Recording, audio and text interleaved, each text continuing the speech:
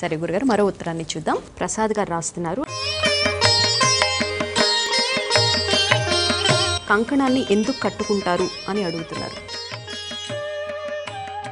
ఐదు కానీ లేక ఏడు కానీ దారములను పేని వాటికి పసుపు పూసి ఆయా నోముల్ని బట్టి దానికి తోరములుగా కంకణములుగా కావలసినటువంటి పుల్లలు కానీ లేక మామిడాకులు కానీ కట్టి తయారు చేసేదానికి దీక్షా కంకణం దీక్షా కంకణం ఎందుకు కడతామంటే దీక్షా కంకణ ధారణత్వాత్ జాతా శౌచ మృతా శౌచ భయం నాస్తి మహీతలే.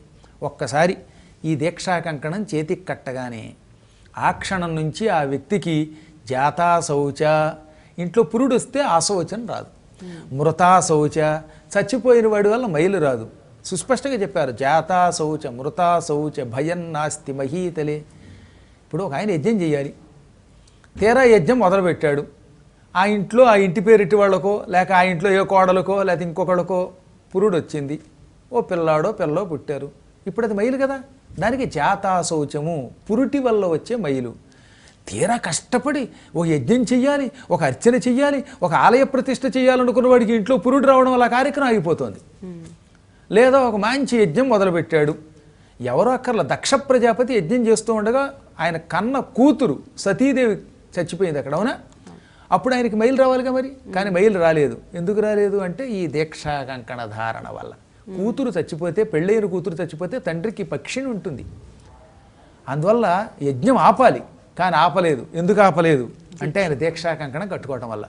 అంటే ఒక వ్యక్తి యజ్ఞం చెయ్యాలి లేక ఒక పూజ చెయ్యాలి ఒక ధర్మకార్యం చేయాలి ఒక గృహప్రవేశం చేయాలనుకున్నప్పుడు తీరా ఆ ఇంట్లో ఎవరైనా చచ్చిపోతే బంధువులు కానీ లేక ఇంటి పేరిటి వాళ్ళు కానీ చచ్చిపోతే మొత్తం కష్టపడి మొదలుపెట్టిన ఈ పని అంతా ఆగిపోవట్లేదటండి. ఎంతమందిని చూస్తున్నాం మనం?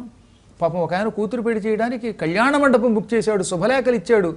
తీరా తెల్లవారితే పెళ్ళనగా ఆ ఇంటి పేరిటి వాళ్ళు ఒకడు పోయారు. మొత్తం పెళ్ళి ఆగిపోయింది.